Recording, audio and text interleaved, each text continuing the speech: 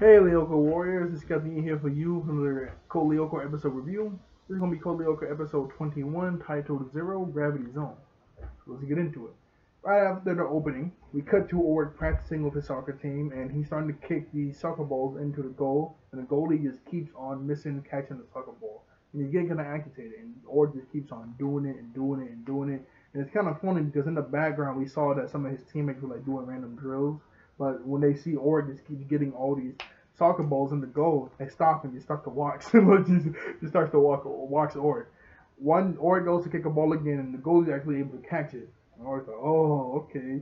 Think you're smooth. So he's like, hey, give me another ball. So one dude, you know, rolls another ball over to Oregon. Oregon kicks the ball up in the air. He does a flip and he kicks it, and he hits the side of one. He hits one of the sides of the of the goal, and it bangs off that side and goes into and goes inside the other you know a goal. I think I'm saying it wrong, but you know, you know a goal. It bangs off the left like pipe of the goal, and the goalie's like, you know, he misses like he misses the catch, like, huh? And it keeps going, and it, and it lands in the right side. That's what happens. Everybody's like, yeah, woo, all right, right. And Jim's like, okay, we got a big game today. Go uh, hit the shower, get some rest, uh, you know, before the big game today in the afternoon. And he walks over to Ort and stretching out his legs. He's like, hey, Ort, I got a little here. You're my key to winning. You know, like you know, you know, we get this whole team, every you know, team spirit. Hey, you're the key, and you got to be careful. There's a new guy named Matt at Lincoln High. He's uh, always like, oh yeah, I heard about him. He's nasty, but don't worry, Jim. I get you. And while one while Org is walking off screen, he Jim is just like, yeah, we're gonna kill him. We're gonna massacre him. We're gonna rock and sock him. And then he walks. And then we cut back to Orc, and he's still walking. And then Jeremy and Odd, the two boys right there the squad, the three boys in the group, they're just chilling and watching Orc and Orc, I mean not Orc, Odd gives Orc a towel. He says, hey, you guys didn't have to come watch. He said, hey, what are friends for? We're here this morning, we'll be here this afternoon. I know you're ready to see Sissy cheer you on, alright, Orc, huh? And we cut to Sissy practicing her baton, uh, practicing her cheering. She has a baton, she's twirling it around, and she's singing. And I did, this is what she says, it's kind of bars, kind of bars. One, two, Three, four. Come on, team, give us more. Five, six, seven, eight. Lincoln, we're gonna seal your fate. Pretty bars. pretty bars right there. That's nice. That was pretty nice. Right after that, Sissy starts to twirl her baton some more. And she throws it in the air and she spins around and she does this. But uh something happens. She's like, what the heck? So she looks up in the air, her baton is just floating and it starts to go up, up, up until it's out of sight. She's like, what the? she's, you know, she's like, what in the world? And then we cut to Yumi. She's walking down the sidewalk to get to school. While Yumi's walking, all the street lights around her start to flicker off and on. And then she actually starts to levitate off the ground like a couple inches. She's like, huh? What the? Freaks out. And then all the street lights turn off. And she lands on her feet. And then the street lights start to flicker again. And they turn all the way on. And all of Yumi's like freaked out. She, she, started, she just started levitating out of nowhere. like, you know, that was kind of freaky. she started levitating out of nowhere. And we got the sissy talking to these two girls that we don't know, some random some random girls she's talking to. She's telling them what we what I just told you about her baton floating in the air and she never came back. And they start to joke and Mark Sissy like, yeah, okay, you just want attention. Ain't no way your baton just kept flying in the air. I'm telling you, I'm telling you. And then Nicholas and her comes out of nowhere. Comes out of nowhere. Well, they come they come out behind a pillar but the way they come out, it wasn't like they were just walking and it seems like, you know, the pillar was blocking them. They were just standing behind the pillar and they finally just poked out like they were hiding or something. Like, okay. So they finally like come out and then they're like, hey, we believe you, sissy. I mean, even though it's not scientifically possible, the sissy brings her foot up, I mean, brings her leg up and has her foot on Nicholas's chin. And we're like, hey, if I say that something happened, it happened. I'm not making this up, okay? And then Jeremy, Oric, and Odd are like off to the distance and they're listening into what Sissy is saying. And I was like, what is, I don't know what, uh, you know, first of all, these two knuckleheads are hiding behind a pillar like some creeps. And then Sissy's gonna do some weird leg move and like keep her leg up for like five minutes just to talk to Nicholas. to, I mean, just to threaten Nicholas, he's gonna keep her leg up. It's just like this, this whole scene is just weird. I mean, this whole scene is just weird. They just come out of nowhere behind the pillar where they were just hiding. And as soon as he says it's not scientifically possible, she's gonna keep her up like that the whole time she's threatening Nicholas. Now, that's just a that I don't know what these animators think that was supposed to be. I guess they thought that was supposed to be intimidating, intimidating someone. Yeah, someone does that. like anyone putting their chin up to my chin? You kidding me? I mean, okay, this is Nicholas. You know, I mean, yo, this is Nicholas. So he he's not doing too much, but you know what I mean. Like, yo, what what are you doing? what are you doing right now? That made no sense. No sense at all. Anyway, um, right after that, we cut after we see Odd, Jeremy, and Oric listen into the conversation.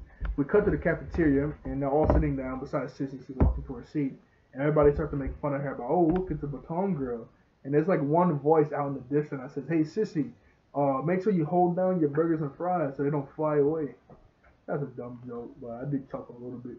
I did chuckle. And um, Jeremy, you know, Jeremy, Odd, and Oric are listening into this, and Jeremy gets up at the exact same time, Yumi walks in and she walks over to the table. At the exact same time, they both slam their hands onto the table. It's like, hey, we need to talk. At the exact same time. That was pretty cool. I like that. I don't know why. I really like when they did that. that that's pretty cool. And they both slam their hands on the table like, hey, we need to talk. like, we need to talk. And then right after that, obviously, they talk. They go to Jimmy's room turn on Alita, and then Yumi tells them what just happened to her, and then they tell Yumi what she just told everybody at school. They're like, huh, it has to be Xana. Yes, it is. Because Alita just said that, hey, there's an activated tower here, so yeah, it, it is Xana. And then they're like, what? How could this even be possible? And then Jeremy says, huh, maybe it's, and he starts to uh, say some stuff, which I gotta uh, talk. He says maybe Xana's using a, maybe uh, Xana has an electromagnet is using to offset the magnetic attraction of Earth. You see, and then Oric's like, well, how does um wait? Oh no no my bad. That was before. Yeah yeah. Jeremy said something else, and then Oric's like, how what does electricity have to do with gravity? And then he said what I just said. My bad. I completely forget. I completely forget. He said something I'm gonna tell y'all. Then he was like, and then you know, Oric's like, what does electricity have to do with gravity? Um, I'm gonna say it to y'all real quick because I just didn't oh my goodness gracious, that was ridiculous. I'm talking, uh, rambling because I'm waiting for a break to pop up. Anyway, yeah, um, he says maybe it's a break in gravity causing spontaneosis and localized weightlessness. And that's when Oric was like, what does gravity and electricity have to do with anything? Then, right after what I just told y'all before, Yumi's like, well, how dangerous is it? And then Jeremy's like, well, normally not at all. But you saw what happened to Sissy's baton. And then we cut to Sissy's baton actually floating in space. that is actually floating in space. That was pretty funny. They didn't even do that.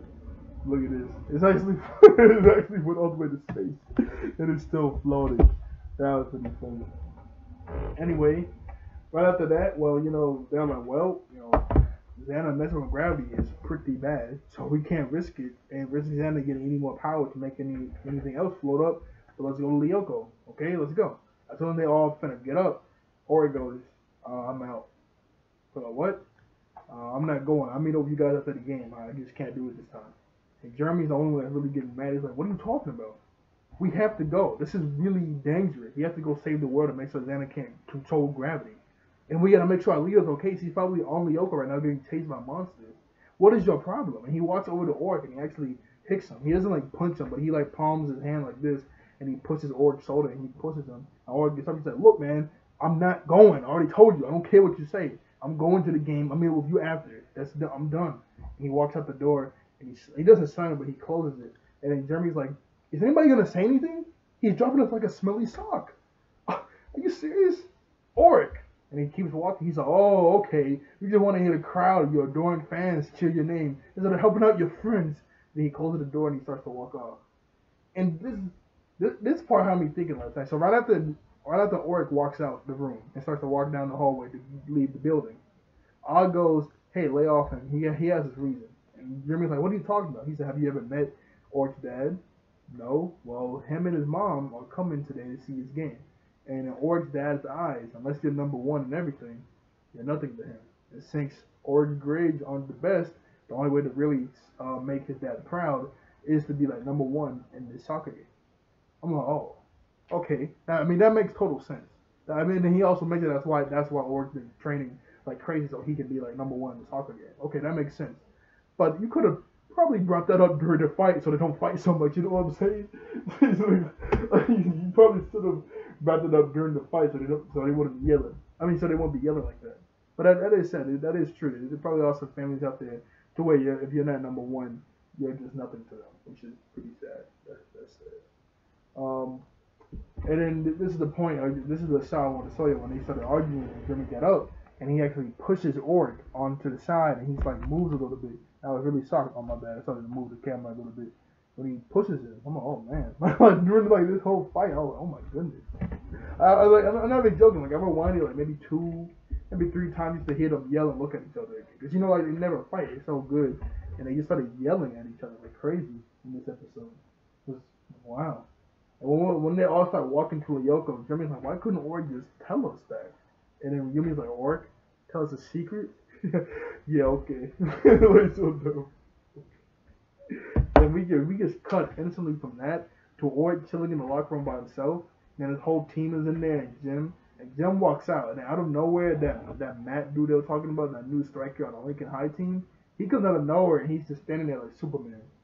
Like he's gonna do something. like he's gonna do something. I don't know who this guy is.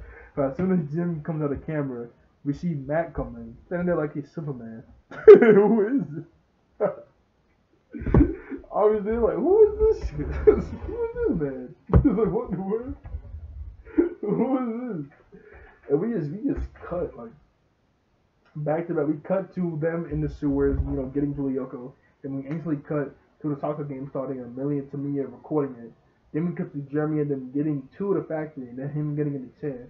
And then we just cut to the soccer game playing for like two or five seconds. And then we cut right back to a Yoko, just cut, cut, cut.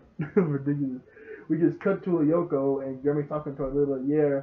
Um, he could tell that Xana is trying to gain power from a couple power stations around town. He can have his own countermeasure to make sure this doesn't happen, but you know, it's Xana. It's only gonna last for so long. And then we cut right back to the game, and Oric he's running down the field with Matt. He kicks the ball to his teammate. The teammate, well, no, at first some dude comes out of nowhere and does a slide move to kick Oric's foot, but he jumps and lands back on the ground, and he kicks the ball to his teammate. The teammate kicks it back to Oric. Oric kicks the ball into the goal, and Oric kicks the ball so hard that the whole screen turned white. Literally, the whole screen started turning white. Like this is crazy. or it kicks the ball and the whole screen turned white. I thought something happened to my TV for a second. That's just how hard he kicked the ball. That's just how hard he kicked anyway, Alita, I mean, not Alita, Jeremy sends on and Yumi to the Yoko, finally. And then we cut right back to Milly and Tamiya focusing on the game. It was nothing really, it was nothing really um important. It was just Millie I mean, it was Tamiya um just swooning over Oric because he had the camera recording and she just zoomed in on Oric like, wow, he's so handsome. And was like, what are you doing? Focus on the game. like, like, like, yeah, it's like, what, like, what are you doing? We're supposed to be reporting the game, not Oric. Like, what, like, what are you doing? Anyway, we cut back to Jeremy. Right after that, it's just so many cuts. Just so many cuts. We cut right back to Jeremy. And Jeremy, I mean not Tao, Jeremy can see that Xana is gaining, like he's starting to bypass some of his defenses. This is getting bad. He's trying to take over at least about 50 different power stations in the city. I think that's either before or after this. I think I think I messed up the order, but he, he sees something going on. Let me make sure I'm saying this right, so I don't confuse y'all. Yeah, yeah, yeah, yeah. Okay, okay, okay. So um, Xana is gonna use the Xana has to have some sort of electricity to make things flow. I said it too early. To make to make things weightless and float. And he's gonna pinpoint his um, attack at the school in the science center and inside the building. So he well, we gotta make sure nobody's there. So he's like, oh, I'm have to call Oric. And then while he's saying this, you know, Odd and Yumi and Alita are running around. See, like, what? What's going on, Jimmy? Say that again. And then they used the, that. It was either one or two episodes ago, either one or two where I was like, yo, Odd kicking off these rocks and jumping really high, that's pretty cool. They use that exact same animation, the exact same rock structure and everything with this. They just they just you know um, did, like did a voice overlay. But look at this. Odd does that exact same animation in this episode that he did like one or two episodes ago. I did. I noticed that when I was watching. it. I'm like, yo, they, they were cutting corners. Ain't nothing wrong with cutting corners. I mean, like you know, this is still a cool move when he just bounces off the rocks and then he just jumps. I was like, oh wait, they did that exact same thing. They think that's slick. they think they're slick. They really think they slick. They did that exact same thing uh, one or two episodes ago. like they, they really think they slick. Okay. Anyway, we um we cut right back to the game and it's halftime. And Oric walks over to the benches and when, right before he gets to the benches, he oh my goodness gracious. I nearly forget. We saw Oric's mom and dad. There, saw y'all. we literally saw them. oh my goodness. Um, this is his mom and dad right here. I was like, I feel like I was, I was in the literally in the back of my mind. I'm like, while I was talking out loud, I'm forgetting something. I'm forgetting something. But as soon as he scored that goal, where the whole screen turned white, we see his mom and dad. That's his dad. That's his mom. I can see where his looks from his mom, from his dad. But I can also see he got his hair from his mom. His hair is more that color and this color. Pretty nice couple. You know, they don't really talk. Well, they said like, well, his dad said like one or two lines at the end of the episode. His mother doesn't really talk. But uh, let's uh, continue this episode. anyway, uh, The Rock. Da, da, da. Okay, yeah. Millie to me at corner Oric, and they're like, "Hey Oric, uh, how does it feel for dominating Lincoln High six to three, huh?" And then Oric, he's humble. He's not he's not bragging on nothing. He's like, "Well, uh, you know, Lincoln High, he's there in the finals with us, so that means they're really good. You know, we just got to keep on doing our teamwork, and maybe we can win. Go team!" And he walks over to the bench. Well, now first he looks at his mom and dad. He looks at the bench, and then he sees Jeremy's calling him, and he answers the phone. And Jeremy's like, "Yo, I've been calling you forever." He's like, I can't play the game and hold the phone, Jeremy. like, you know, you know, you can't do both at the same time. And Jeremy apologizes because, you know, he's like, oh, I found out why you wanted to lose the game to the help of Lyoko. I'm sorry. I didn't know. And he's like, what's going on, Jeremy? He, Jeremy tells Ori about how Xana's going to pinpoint the weightless attack on the science center. So you got to make sure nobody's inside. And Jeremy, and I'm not Ori. I mean, not Jeremy. Ori's like, yeah, yeah, everybody talks about watching the game. Are you sure? and then the halftime is over, and he put he puts in his headphone. Well, he puts in one headphone, put his phone in his pocket. He walks on the field. He's looking at Matt right in front of him. And he looks at he he looks back at the bleachers. He's like, yeah, everybody's on the at the game. Oh wait, Mrs. Hertz. And then Jeremy's like, ah, she's probably in there doing some experiments or something. You got to get her out of there. And then he looks at his mom and dad. He's hearing Jimmy telling him he has to leave the game. He's looking at Matt, and you know, all he's like panicking because you know he wants to do this game, make his dad proud and now Jimmy telling him he has to leave. And he's he actually starts to panic and freak out a little bit. He's like, no, no, please don't do it. No, not this. Not now. Not now. No, come on. That's. No, no, come on, please, please. He starts to freak out a little bit, and he hangs up on Jeremy. He just starts to stand there. The game, the game starts. They blow the whistle. Everybody starts to run, but he just starts to stand there, and he's like breathing. Hello, what's going on with Ward? Is he, good? like, you know, everybody's really confused about what in the world is going on with Ward. And then Oric gets back into the game, and he fakes an injury. Matt like pushes him like a tiny bit, but he fakes like his leg is uh, broke or something, so he starts to limp over to the bleachers. I mean, yeah, limp over to the bleachers. And it's funny because Jim was like, Oric, you can't do this to me. No, please, no. Like, what is your problem? like, you know, from every from Jim's perspective, he doesn't know Oric did this on purpose. So, you know, he's looking like, oh, this dude just pushed him so hard, he probably twisted his ankle or something and he's yelling at him like, "Or come on, man, you can't twist. Come on, your bones can't break on me. your bones can't break on me. What are you doing? Come on, what are you?" And was like, "Leave me alone." Now, Sissy, only one kind of smart out here because she doesn't believe this for a minute, so she starts to leave. There's one little funny moment where Nicholas and her be like, "Sissy, you can't leave. You're only cheerleader." I don't know why that's the only cheerleader. I don't know why, but Sissy says, "Hey." um, just stand up and cheer dance whenever works, or whenever somebody scores a goal. They're gonna love it. They're gonna love it. And we cut to, uh, my bad. I was like, what in the world? Uh, we cut to um, Yumi and Odd, and they finally get to the tower. It's like a walking distance, like literally just one pathway straight towards the tower, and there's three wasps guarding it. So they run out. Yumi takes out her fan, throws it, takes out one of the wasps, then or I mean or odd, you know, laser arrow and he kills one and two wasps are dead from the three. So there's only one wasp left. That one wasp comes from behind and trucks them. it literally just trucks them. And it's funny because you know they usually just any enemy just use the lasers, but I guess they were just so mad. I guess they were just so mad. They're like, you know what? We're gonna truck him. I'm gonna truck him. he just trucks odd. And it was funny because he just trucks them like a truck like a like a football player, like a football, boom, like a football player. He just trucks like a football player. That was pretty funny. That made me laugh. Anyway, right after that, they hide behind a rock with Alita. Then Yumi's like, okay, well, there's only one watch less. You know, all you take it out, I'll bring Alita. And Yumi's like, oh no, there's a whole swarm coming. Okay, new tactic. So, um, I was saying, Yumi, she actually used her telekinesis to levitate some rocks around him like a barrier while Odd is shooting at the shooting at the wasp. And it's funny because Jeremy just said like a whole swarm of wasps are coming. He was not joking. It does an outward shot where it's like a they are so rounded, man. I mean they are so rounded. And um, since there's so many wasps around, Yumi has to keep gaining, I mean, grabbing more and more rocks so they don't get shot. And the more rocks she levitates, the weaker she's getting, the more tired she's getting. Because anytime she uses this ability, even on one thing, she gets tired pretty quickly. And look at oh. And look at this. Like when he said there was like a lot of wasps coming around, I mean a whole swarm, he was not joking. I mean he was not joking. There was a whole swarm of wasps just coming in on them hard. Coming in on them hard. Anyway, Jer- we cut to um, Jeremy and Oric talking to us. Oric called Jeremy like, "Hey, I left the game. Oh, you're making a big sacrifice, man. Thank you. Yeah, yeah, whatever." So Jeremy mentions that he made his own countermeasure to um, Xana making everything weightless, and he like, "Be careful though, because you know he has to he has to use it sparingly. As soon as Xana does it, he has to use it. As soon as Oric walks into the building, he's like." Nah, nothing's happening. What the?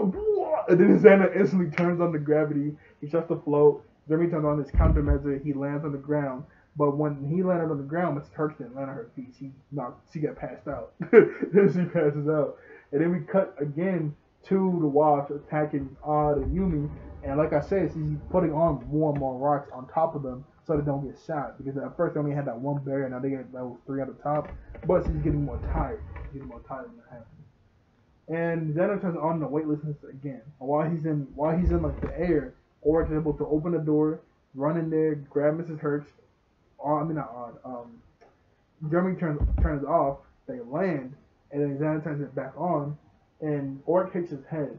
And it's funny because he like passes out for a moment, and when he wakes up, Sissy's falling. Cause he was following him this whole time. Sissy, Sissy's falling. He's like, huh? What is that? oh snap, sissy, and he's able to he's able to grab her really quickly uh, before she hits the ground or hits the side of the wall because they're like sort of gravity sort of switching around. He's like, huh? What's going on? Oh snap, sissy! he's able to grab her just in time before she hits the side of the wall. I don't know, it's confusing because you know the gravity is making everything weird. It's, it's kind of confusing. anyway, the ending of the episode. Um, and lead not leader Yumi she gets really tired from levitating all these rocks, and all the rocks fall, and they're like, oh no, this is bad. And then Alita goes, okay, I gotta do it. And then we cut to Alita, and Alita's just um, singing and making her own pathway really quickly. I mean, like, it's really like, oh, just really quickly. It's crazy. And they're like, Alita, no, what are you doing? And all the wasps stop attacking Al and Yumi and instantly gang up on Alita, and she falls. And while she's falling in the smoke, she's shooting they just keep shooting at her over and over and over again. But then that was just a fake. It was, just a fake, and she was do Code Lyoko. But right before she like does Code Lyoko, um, so I'm saying like these scenes out of order because it said low storage. I know my computer's gonna shut off on me. Uh, right before it goes to Code Lyoko, um, we get the perspective of Oric. So Xana turns, Xana's able to take over 50 power stations, so he has mad power, and he turns on the weightlessness, and everybody starts to float up in the sky. And then Jeremy tells Oric, stay inside the building. He turned on the weightlessness. I can't turn it off. He's like, huh? Wait a second, the game. And he starts to freak out. And he literally jumps through a window. And he sees everybody floating up in the air. And his mom and dad are, well, his dad is clinging onto the bleachers while he's holding his mom. But Oric's dad loses his grip and he starts to float. But Oric's able to grab him. And Oric can't really hold on too long. Before his dad like let go of Oric, he says, son, I'm really proud of you. Really, I am and he lets go of Oric and he starts to float. And Oric's like, no! And Oric let go of the bleachers while they're floating. He's able to do Code Lyoko. And then we just cut back to the day before because, you know, time travel. you know, the return, return to the past. And then we just cut to the game starting over again. Because, you know, it's Lincoln High. Uh, let's do this. Woo, go Oric! And then they run over and kick the ball, and that's the end of the episode. Oh, yeah, there was one uh, one little uh, funny joke. Not a joke, but um, while they were like cheering for Oric, um, R goes, "Go, um, Oric, you're the you're the king, or you're like you're the you're the champ, you're the champ of the world. Yeah, yeah, yeah, you're the king of the world." And Jeremy goes, "Which world, uh, Odd?" Well, bro, well, both, Jeremy, both. that was a little corny, but whatever. Uh, let me show you real quick before it cuts off on me. Where the clone of Alita was just making the bridge super fast, and then when she gets knocked off, they just start to gang up on her like crazy. I mean, look at this. They just like they just start to shoot her, even though she's falling to her death anyway. I mean, like this is crazy. like, they're just shooting her like crazy, even though she's already dead. But that was just a. You know, that was just goodness. I mean, you know, uh, thank goodness. And this is the scene where um Oric he literally jumps through the window and he realizes that the you know everybody's floating up in the sky, and that um his mom and dad are going to be in danger. Oh no, I think he's already outside at this point. Oh yeah, they're already in danger. I found it funny, because You know, it's, it's like his dad never really cared about. Oh, okay, he cared about Oric, but he never really showed him to respect until the soccer game. Which is like, yay, good, he's getting the respect now. But at the same time, I mean, you didn't give it to him before, you know. So that's kind of messed up. That's kind of jacked up, you know what I'm saying? But anyway, um, this is when Oric he literally jumps through the window to get to his mom and dad, which is pretty sweet. Yeah, that, that was pretty sweet when he gets to his mom and dad. Um, I'm like really messing up the order here. Okay, here it is. This is when Alita's clone is making the brigs super fast. This is like the after credit scene right here, super fast. And we know Alita, he takes like a whole 12 minutes to like sit down and sing to make a wall. Sometimes it's fast, sometimes it takes like a minute. You know, you know, sometimes it's like really fast. Sometimes it takes a good minute for that to happen. you know what I'm saying? But this is when Oric jumps through the window to get to his mom and dad. This is pretty crazy. And then he's able to grab his mom and dad right before they float up. Well, they still float up in the air, but um, you know. right here. His dad loses his grip Oric's able to catch him real quick right before they flew up in the air. A pretty sweet man. pretty sweet. But like I said, that was the end of the episode because um, I already said everything else. I think I said that quote wrong from Ando when he said you're the best of both worlds. Oh, you're the king of the world or whatever. I think I said that wrong, if I'm not mistaken. Let's rock over. Come on, world champion. Yeah, you're the world champion. Which world? Well, both, Jeremy. Both. oh, snap. Things in the TV. I didn't notice that. Whew episode. Sorry, I was going so fast. This literally at 28 minutes, it cut off on me. Usually I'm able to go to like 30, so I guess I gotta do something with my storage or whatever. After, so this is my second time doing it. Oh, oh man. And it said low storage of 25 minutes. I'm like, oh, you gotta be kidding me. Yo, I don't want to do this for a third time. I really don't want to do this. I started talking fast. And uh, but I, I I get it too. I get it too. I just messed up the order a little bit. messed up the order a little bit. But uh, that was the episode. Uh, thank you all for watching. I thank you all out there for being wonderful and beautiful and handsome human beings. I'll see you guys next time. Bye bye. Whew, man, that was uh, that was something. Was something else.